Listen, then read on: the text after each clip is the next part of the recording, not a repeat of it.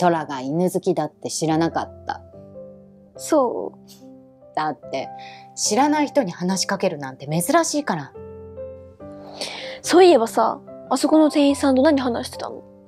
そうそう。空が気になってたあの犬、保護犬なんだって。保護犬？飼い主の都合で施設に預けられた犬。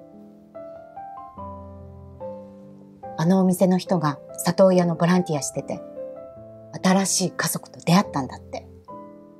そう。あの犬、幸せそうだったね。そうだね。なんか、私たちみたいじゃない？え、そう？新しい環境でのスタートだから。でもさ、ママは空を捨てたりなんかしないでしょ？